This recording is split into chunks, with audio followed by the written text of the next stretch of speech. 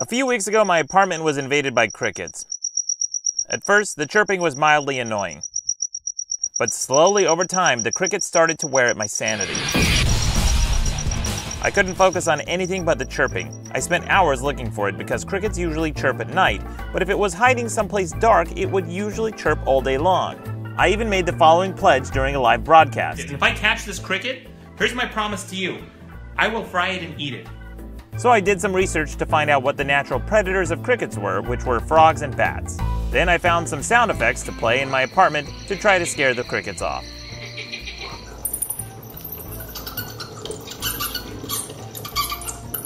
That didn't work. I even went so far as to go to Amazon and order a cricket protein bar made out of cricket flour, because if I couldn't kill the cricket that was tormenting me, at least I'd kill some crickets somewhere, and that made me feel better inside. Finally, one night while I was on the verge of losing it, I saw the cricket scurrying across my floor. I quickly grabbed a mason jar and caught the son of a bitch. I think this is the guy. I'm gonna catch him with this jar. If I catch him, I'm gonna try to eat him. Oh, oh, that's the guy. Look at that piece of shit. Oh, you're fucked. Snack time, motherfucker. That's right. Oh, I'm so happy. Fuck you, Cricket. Oh man, I'm gonna eat the shit out of that guy. So, like a gracious victor, after I caught the cricket, I actually had a change of heart and let it go. Just kidding, I'm cooking it right now. this guy. Put that right there. A little drizzle of olive oil. And just a touch of cayenne pepper. And don't forget the garnish. There it is. A feast for a king. So long, bitch.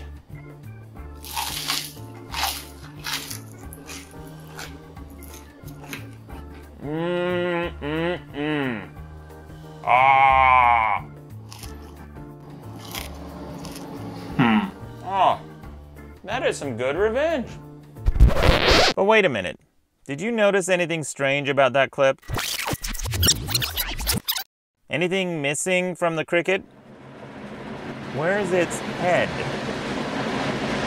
Oh, that's right. I cut it off and put it on a stake in my front lawn as a warning to all other crickets. In fact, since I caught my cricket, I caught three more of its family members and all of them shared the same fate.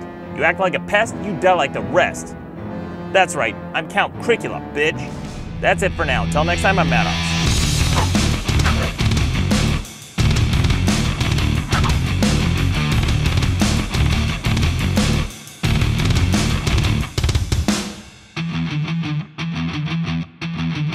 You think it's it's cooked enough?